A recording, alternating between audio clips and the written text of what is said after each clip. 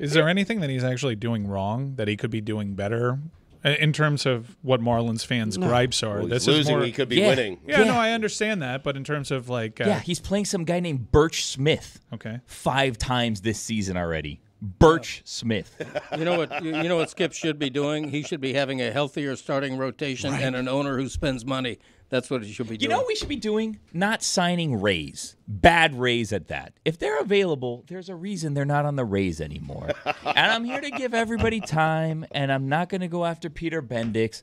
But Peter, there's 29 other teams that you can sign players from. I guess 28 because you're not going to sign your own players apparently. But there's 28 other teams out there you can sign people from. They don't all have to be former Rays. You don't have to keep calling your friends.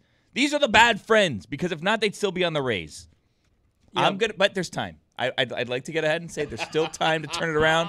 We're only 11 games into the season. Yeah. We're not going to overreact. Long season, 162. We have 151 to go here, Dano. Don't freak out yet. But Burch, Smith, and he's not even the worst person in the bullpen. Not even the worst. I'm not going to start on this. You're not going to rile me up. I know that you're trying. I know you were doing it before. You saw that- me in the commissary drinking some water. You're trying to rile me up, little pokies here and there to get me to kind of freak out and do these things on air. It's not going to happen. who's that guy in the bullpen? Is it that Puk guy that you keep complaining about? no, he's a starter now. Yeah, because he just Puk's did a a great starter? job Yes. last Wow. year, the second half of the season. They said, you know what, you'd be great at.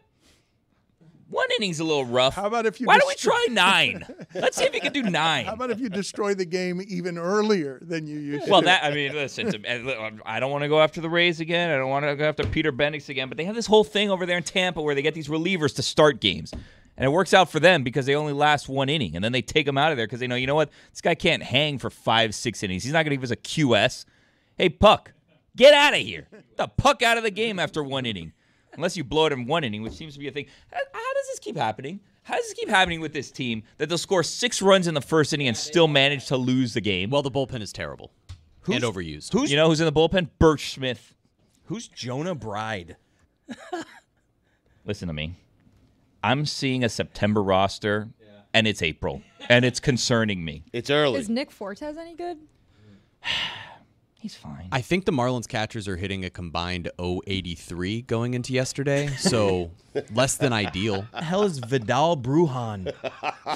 He's The Marlins going after Peter Bendix is the least surprising thing in all of baseball because the entire time Bruce Sherman has been the, the, the, the owner, all they do is use the Tampa Bay Rays example as an example of why they aren't spending more. That's been their eternal excuse. Oh, you don't have to spend, you just have to be smart. You know what? You can be smart and spend like most winning teams do. Okay, it all starts. I, I'm a broken record on this, but it all starts with the fact that they have an owner who's not spending, and that's I guarantee you that's one of the reasons why Schumaker didn't want uh, necessarily, uh, you know, an option to stay.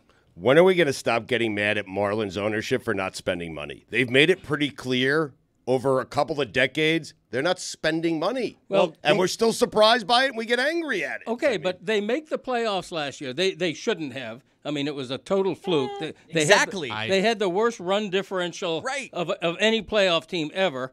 Uh, so that was lucky they made the playoffs. But what did they do during this past offseason? Instead of building on that momentum and actually bringing in a few bats, they do nothing. And their payroll this year is worse, lower than it was last year.